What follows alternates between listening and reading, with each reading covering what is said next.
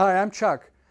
Our customers often ask us whether they should use vacuum tubes for their solar hot water or flat plates for their solar hot water. And the answer is it depends on your situation. The vacuum tubes are designed for the harsh winters here in Maine. They'll produce more hot water in the winter than the flat plates will.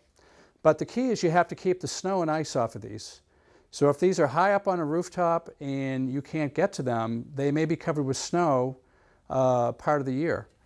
Whereas the flat plates, they have the heat transfer fluid actually going through the, the flat plate and that will melt the snow and ice, which uh, allows you to make hot water in the winter with these. So it depends on uh, your preference. The tubes are about a third more expensive than the flat plates.